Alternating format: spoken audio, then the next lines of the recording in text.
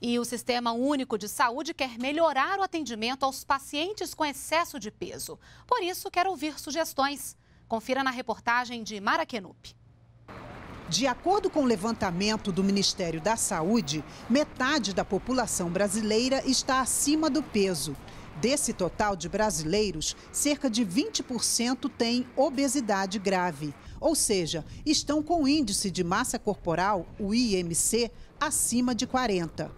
Pela tabela da Organização Mundial da Saúde, o IMC considerado normal é 25. Entre 25 e 29,99, a pessoa é considerada acima do peso. Entre 30 e 34,99, tem obesidade 1 entre 35 e 39,99, obesidade severa, e acima de 40, obesidade grave. O que preocupa os médicos é que a obesidade pode se agravar. Está sempre associada a outras doenças, como pressão alta, diabetes e problemas no coração. E o diagnóstico é que hoje tem muita gente precisando de tratamento. E em muitas cidades do país, a rede pública de saúde ainda não está preparada para atender esses pacientes. Por isso, o Ministério da Saúde colocou em consulta pública proposta de atendimento ao paciente portador de obesidade grave. O Ministério quer saber dos usuários o que funciona e o que não funciona no Sistema Único de Saúde quando o assunto é obesidade.